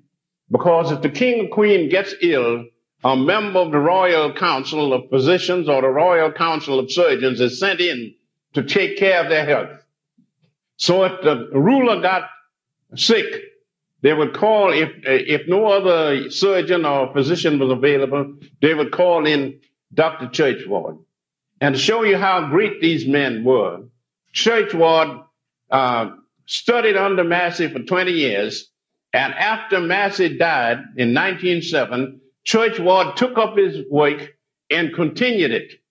He wrote the Evol- Origin and Evolution of the Human Race in 1921, The Signs and Symbols of Primordial Man uh, back about uh, 1913, uh, The Origin and Evolution of Religion in 1924, and The Origin and Evolution of Freemasonry.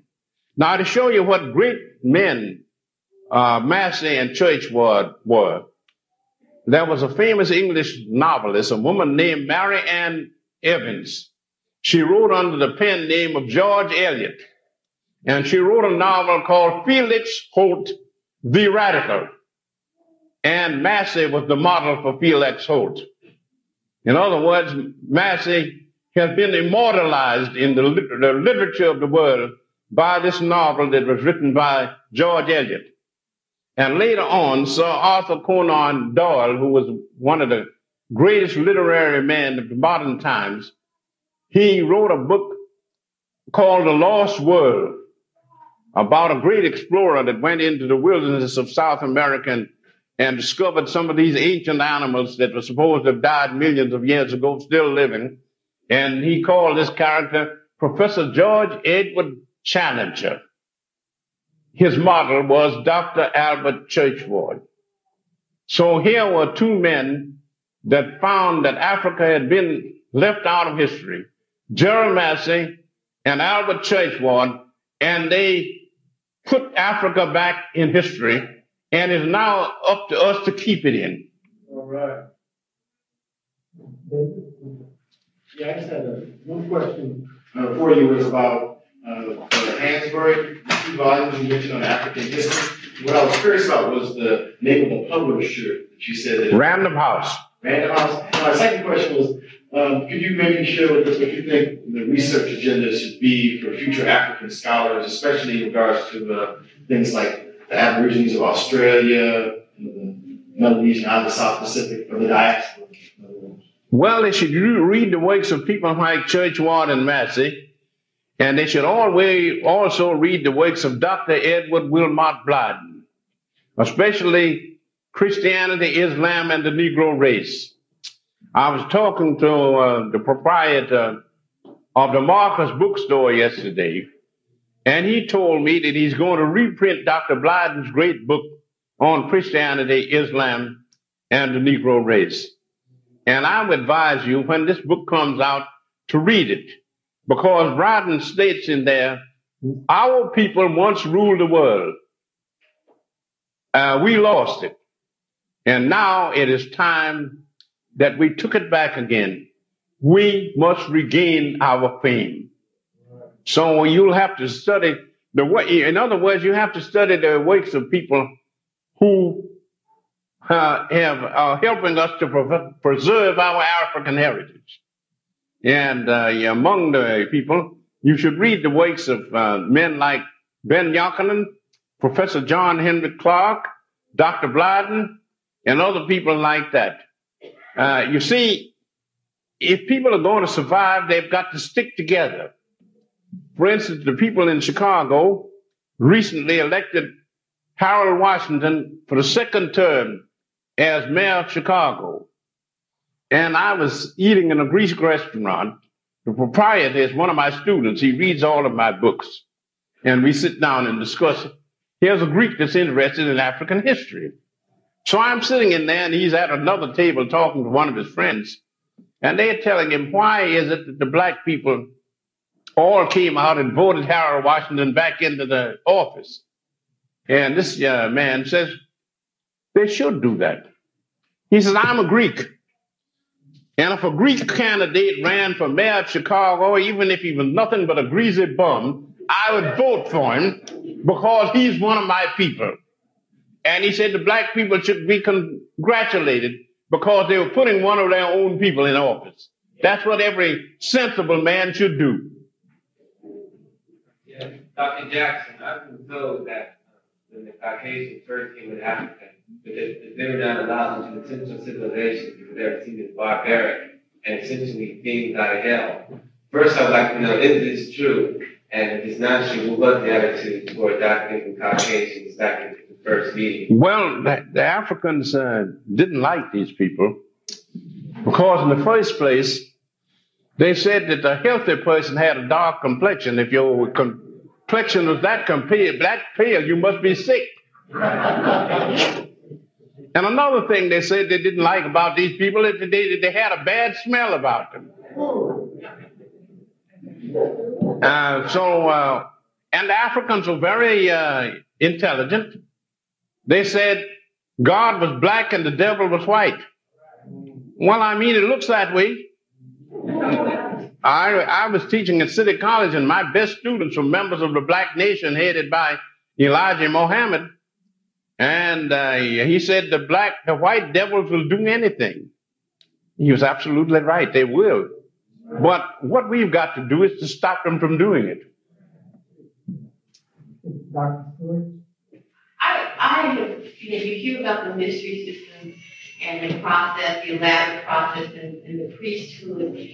Can you talk a little bit about the male-female roles uh, I tell you, I can't. I don't have time to talk about it, but you'll find it in my books.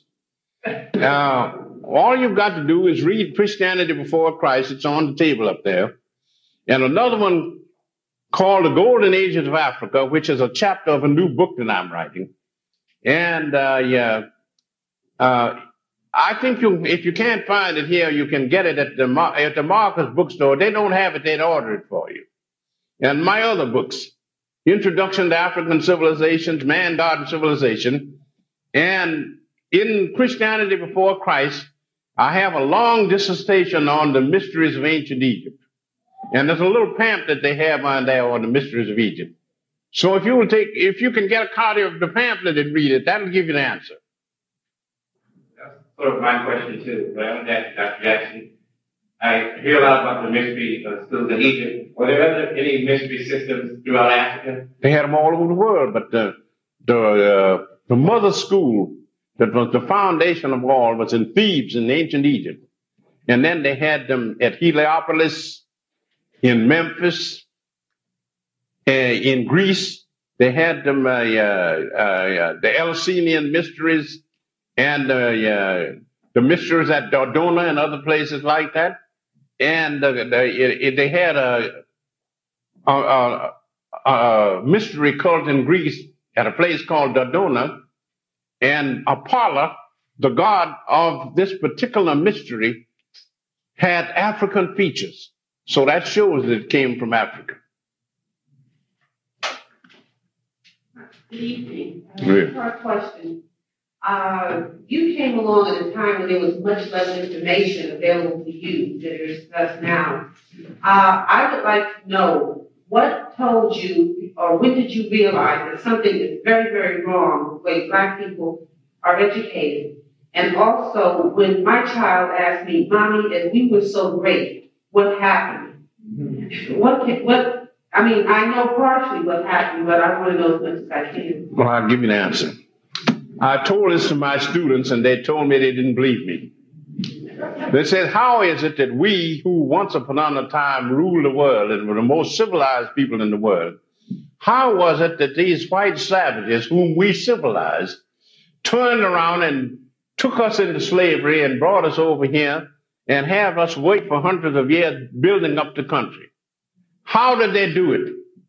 I say the way they did it is because they were a bunch of thieves uh, cutthroats and low down characters, and the Africans were humanitarians. I said the Africans welcomed these people into their countries, and they they came in with a Bible. And when they came in, the Africans had the land, and the white folks had the Bible. And later on, the Africans had the Bible, and the white folks had all of the land. So I said, the reason why we got sidetracked is because the European people were vicious, brutal type of people, and we were a race of ladies and gentlemen. And if you have a confrontation between an honest man and a crook, the crook generally wins. We went down, but there's no reason why we should stay down. It's time that we got up. Okay. I, I like to address the getting up part. Um, right now, we live in Oakland and I see a unusual phenomenon of Asian businesses moving into the black community. And especially nail businesses and black women patronizing these businesses. These people will never buy from black people.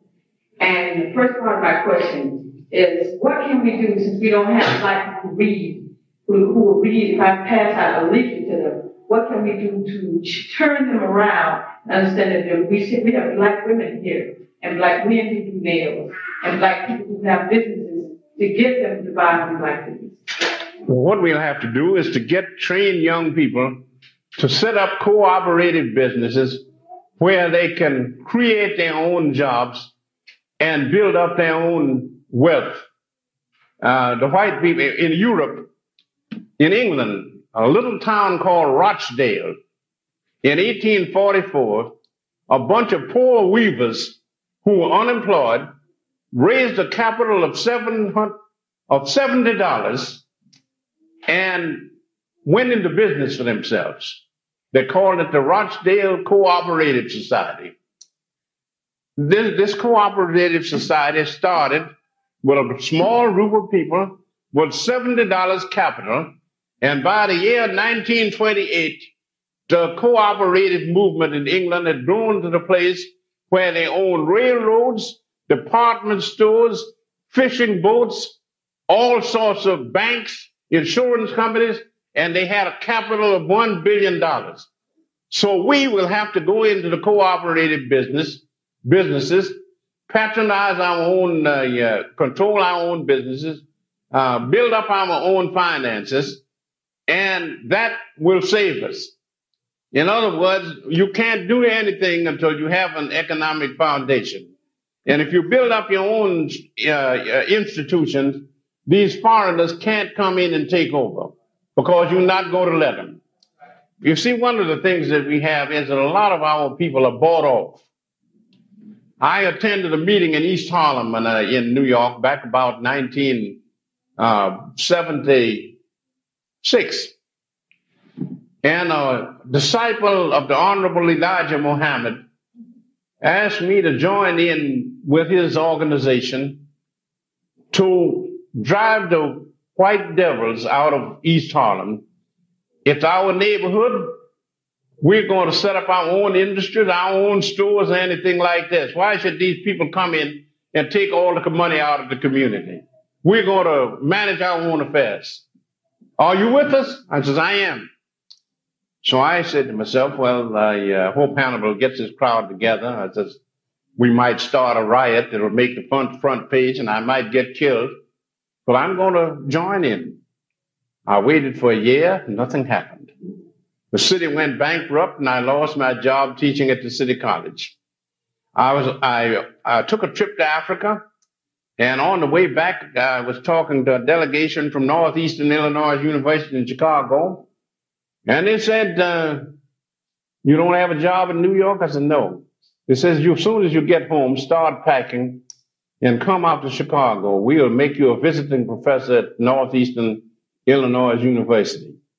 So as soon as I got to New York, I packed up and came to Chicago, and I'm still living there. I taught three years at Northeastern. And uh, yeah, those are the things you you've got to you've got to have knowledge, wealth, power and you've got to have ambition. Because uh, yeah, if you don't, if you, in other words, the main reason why our people let foreigners come in and take them over is because they hate themselves. Right, right, right. I was walking along Lenox, I was walking along 7th Avenue in Harlem during the 30s, and a sorry looking, hungry young man, raggedy, was standing on a stepladder, and here's his message. I'm hungry, I'm broke, I ain't got no job, and I don't see no job in sight. I hate myself. Well, you're not going to get anywhere that way. You've got to love yourself. I, I hear some of the preachers tell us we should love our enemies. That's not the answer.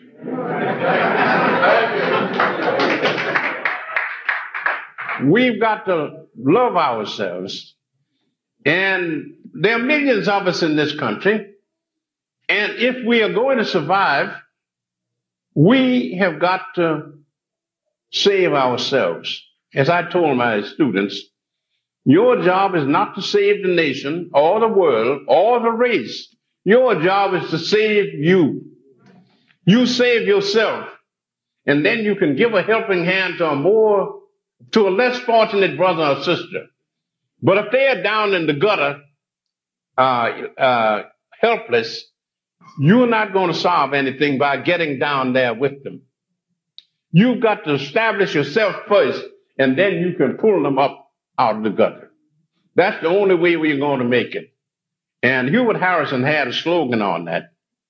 He said, the reason why we are in such a bad fix is that most of us have wishbones where our backbones ought to be. I have one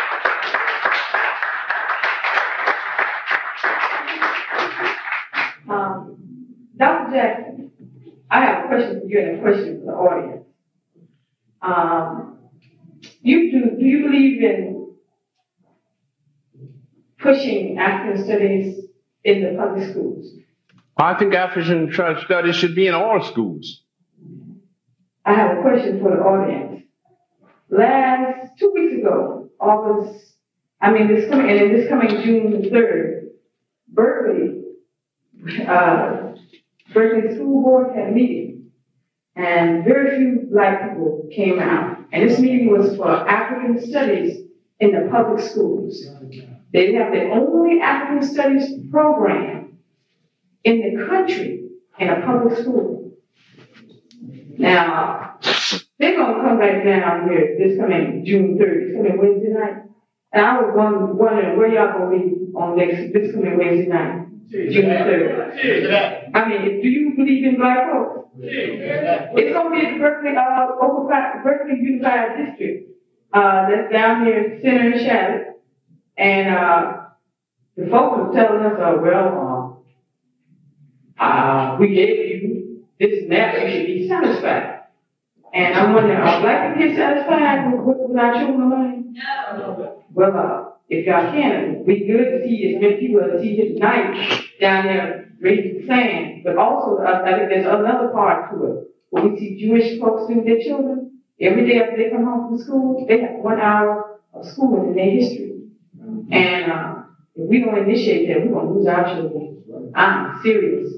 Because if you give somebody your children eight hours a day, and they don't teach them nothing when they come home, we in serious trouble. That's all I gotta say. What time? Well, young lady, uh, you asked the audience to answer. I think these people uh, uh, agree with you, so I hope they will turn out at this meeting. But uh, here's what I find out our trouble is, is that we are always expecting somebody else to solve our problems. And I told my students, don't expect the good white folks to solve our, our problems because they've got to the place now where they can't solve their own problems. So how are they going to solve ours? And here's the, uh, what I uh, found out. Uh, when I was teaching at City College in New York, the union, the member of, a, of the union that I was a member of, District 65 UAW AFL-CIO, they asked me to come down and address, uh, give a lecture, a memorial lecture for Dr. Martin Luther King Jr. It was King's birthday, and I was to come and give a lecture telling of all the great work that Dr. King gave. The union had a membership of 50,000 members, 75% of them black, and the audience was 90% white. And when I confronted some of the black brothers and sisters and asked them why they boycotted the meeting, they said, well, Dr. King is dead now. He can't do nothing for us now. So, I mean, uh, uh, we, uh, there was a great white man in this country who was our friend. And if we took his advice, we would have some of our problems solved already. The black Republicans of New York City had an emancipation celebration, Emancipation Day celebration at Cooper Union Hall in New York City in 1893. And there were three great orators. The Honorable Chauncey M. Depew, who was a big shot in the Republican Party. The Honorable Frederick Douglass, who was the wheel horse of the Republican Party. And Colonel Robert G. Ingersoll, who was the greatest orator in the world. And Ingersoll got up before this audience and he says, I consider it a great privilege to talk to a great race of people. He says, You black people may not realize it, but you are a great race people. You raised the best of everything in this country. You raised the best cotton, the best corn, the best hogs, the best of everything. But you will never become first class American citizens until you go out and raise hell.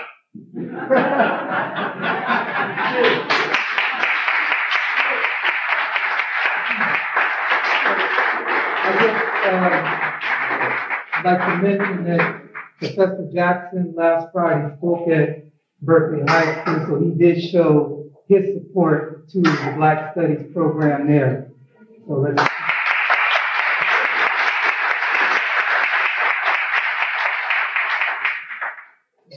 Yes, sir. I would just ask, like to ask you real quickly the relationship of Islam to African history, African science, African religion, also the difference between religion and culture, and how did you yourself realize that you had made a mistake and more or less directed your life in the right course? Thank you.